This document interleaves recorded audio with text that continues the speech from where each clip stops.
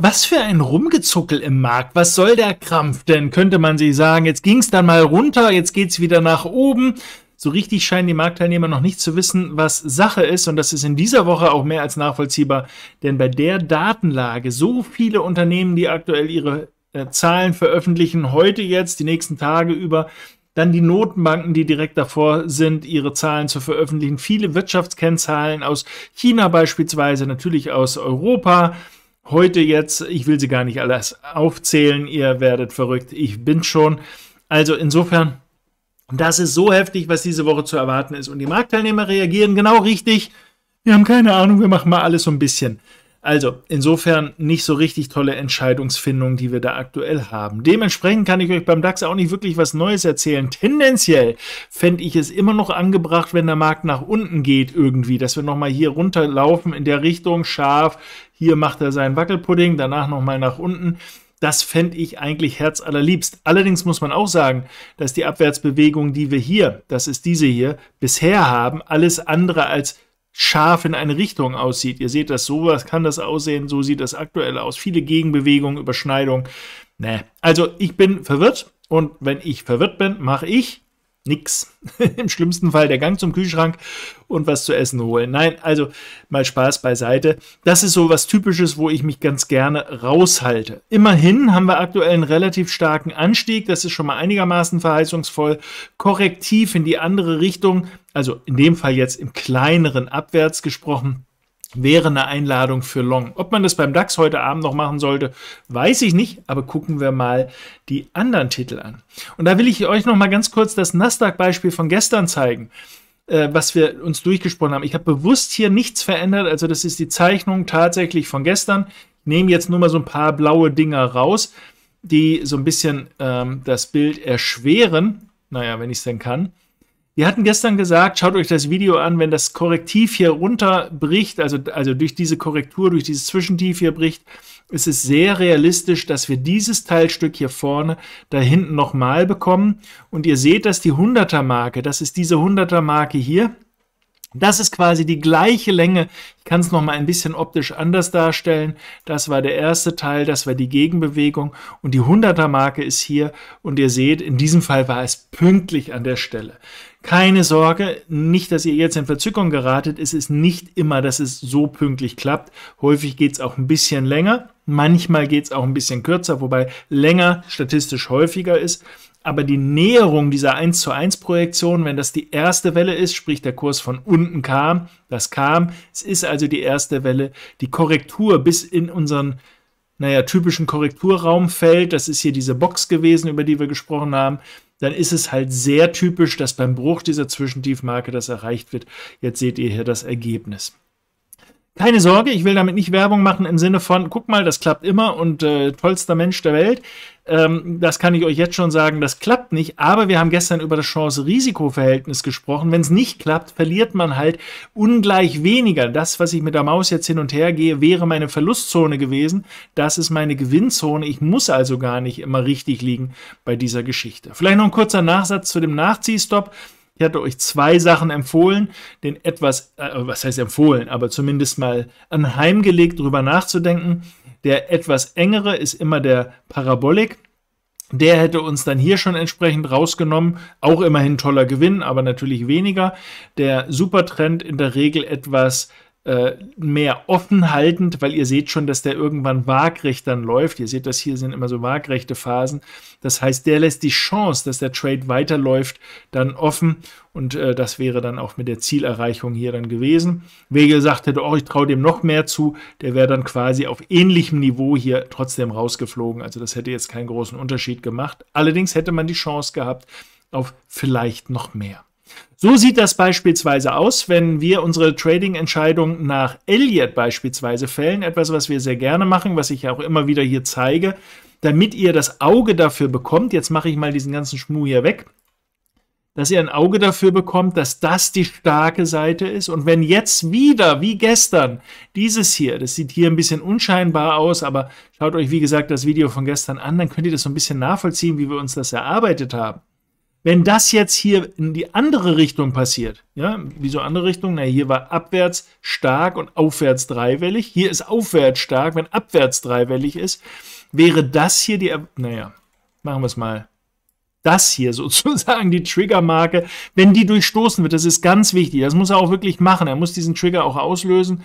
Wenn die durchstoßen wird, ist diese Chance, dass wir das, was wir hier vorne haben, ich habe es jetzt etwas zu lang gezeichnet, hier hinten nochmal bekommen, relativ groß. Aber ihr seht schon, wir brauchen mehrere Bedingungen. Wir brauchen eine starke Bewegung, eine korrektive Bewegung und ein angezeigtes Ende der Korrektur. Und dafür ist ein Indiz, dass wir diese Zwischenmarken eben entsprechend durchstoßen. Deshalb rede ich immer da gerne vom Trigger. Ein Handelsansatz, der uns vielleicht heute Nachmittag oder in den nächsten vielen Stunden nochmal eine Möglichkeit gibt, hier im Markt was zu tun, hier beim S und äh, Entschuldigung, beim Nasdaq, hier in dem Fall. Etwas anderes sind jetzt hier diese ähm, blauen Dinger, das sind äh, die, die ihr auch immer, immer wieder mal seht äh, von mir, das sind die Born Bars sozusagen, ähm, die ich euch gerne vorstelle. Da haben wir sogar aktuell etwas im 4-Stunden-Chart, was ich euch in Born for Trading zwar vorstelle, leider heute nicht im Trade des Tages, Einige kriegen natürlich immer wieder auch die Updates dort. Im, bei dem ähm, Born for Trading gibt es die ja quasi täglich mehrmals, äh, wenn ihr Handelssignale wollt. Aber ähm, im Trade des Tages stelle ich immer wieder welche vor. Den habe ich jetzt leider zeitlich nicht hinbekommen. Das wäre ebenfalls ein Signal, das Ganze hier zu handeln. Hier lief es ganz gut. Ich hatte euch gestern, meine ich, einen beim S&P vorgestellt.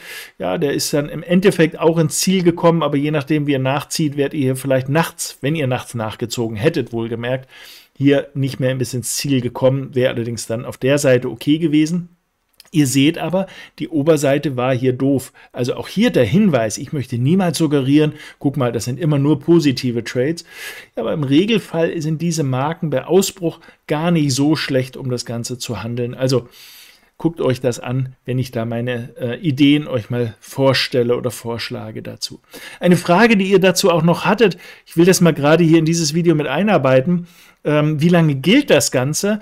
ähm, wenn ihr das im Trade des Tages euch anguckt, da habe ich immer die so lange bis Message drin.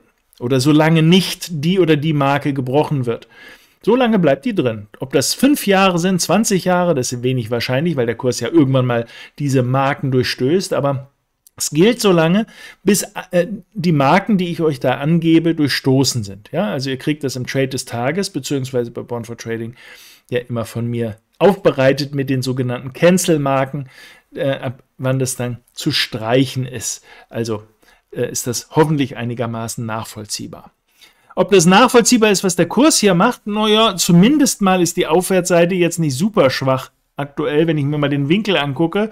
Der Knubbel, der könnte noch mal kritisch werden. Wann wird der kritisch? Wenn wir jetzt hier extrem dreiwellig unterwegs sind, wäre das sogar noch mal ein mögliches Short-Signal, was wir hier haben.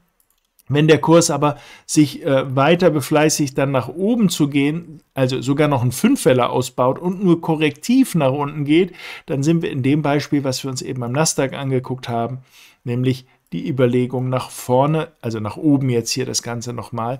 Deshalb achte darauf, was ist die starke Seite und die schwache. Und wenn ihr jetzt sagt, ja, aber manchmal sehe ich das nicht, hier war es ja auch die falsche Richtung, da hätte ich aber gesagt, dass die stark ist, jo, hätte ich wohl auch eher, aber ihr seht, abwärts war nicht schwach und vor allen Dingen hat nicht getriggert. Also diese Zwischenhochs, die wir hier haben, also diese Zwischenhochs, die wir hier haben, die sind nie gerissen worden. Also insofern gab es auch gar keine Möglichkeit hier, öh, war ich aber falsch mit. Ja, aber warum? Das passt so theoretisch nicht.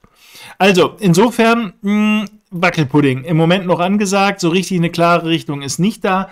Ich habe eine Vermutung, dass wir sogar dieses Hoch nochmal rausnehmen. Das ist aber eine Vermutung, die fußt darauf, dass dieser relativ deutliche Anstieg hier relativ weit gekommen ist. Wenn er so hoch kommt, dann geht er sehr gerne auch nochmal auf neue Hochniveaus.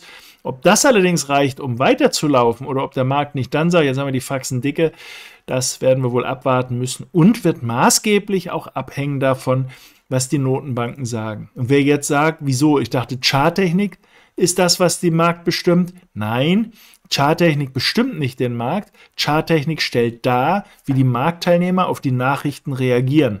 Mit Begeisterung, mit Verzückung oder Verzögerung oder eben mit Zweifel oder Angst. Das wird man eben ablesen können am Verlauf.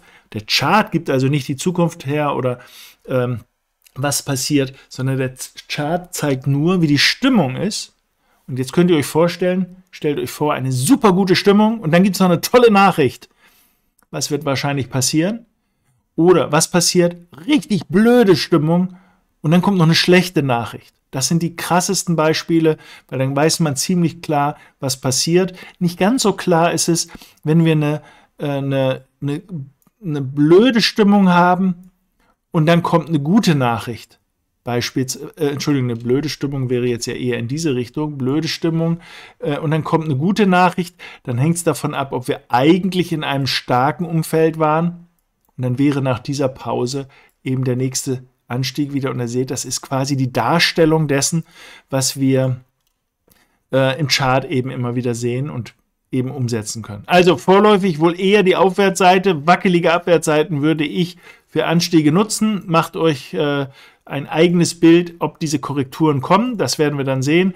Beim DAO haben wir so ein bisschen die Situation aktuell. Das heißt, der DAO hat für mich im Moment von all denen die beste Chance, dass diese Anstiegsbewegung, diese Korrektur gute, realistische Chance hat, noch ein bisschen weiter zu gehen. Und wenn ihr euch jetzt die Frage stellt, aber wie weit, überlegt euch, ist das die erste Welle? Gucken wir uns an. Jawohl, der Kurs kam von oben, echtes Tief. Zweite Frage, wie weit ist der Rücksetzer gegangen? Ich mag gerne, dass der Rücksetzer in den Bereich 38, 50, 61, 8 geht. Jawohl, er ist da rein. Er sollte das korrektiv gemacht haben. Das ist zum Beispiel dreiwellig. Jawohl, das hat er gemacht. Dann wäre das ein möglicher Trigger mit der Erwartungshaltung, dass sich der Trend, den wir hier gesehen haben, nochmal fortsetzt. Das heißt, meine, das ist das Tief, Zielerwartung wäre, wir haben eine realistische Chance, dass der Kurs bis hierhin geht. Stop hier beziehungsweise die 78, tiefster Punkt, im Moment sogar höchster Punkt der Bewegung, könnte der Stop hier liegen. Ihr seht, das CRV ist nicht ganz so schön wie bei der Trading-Idee, was wir gestern hier gezeichnet hatten beim Nasdaq. Aber auch hier ist die Gewinnseite die größere Seite. Ob das passiert, keine Ahnung. Aber ich finde, das Risiko, so eine Überlegung mal durchzuexerzieren, finde ich akzeptabel, weil die Risikoseite deutlich kleiner ist als die und dieses Verhaltensmuster dafür spricht, dass die Chancen, das zu erreichen, relativ groß sind. Ist keine Ankündigung, das zwingt, passiert jetzt zwingend, aber nehmt es als Leseübung, als vielleicht als Filter für eure eigene Trading-Idee, ob ihr euch eher auf die Long-Seite im Moment bezieht oder eher auf die Short-Seite. Wisst allerdings, dass die aktuelle Nachrichtenlage natürlich schnell auch einen Dreh hat.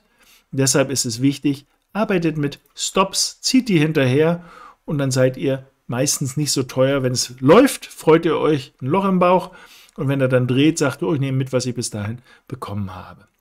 Mit diesen Anregungen lasse ich euch jetzt in diesem Moment allein. Drückt euch die Daumen, dass ihr auf der richtigen Seite unterwegs seid und wünsche euch alles Gute. Bis dann.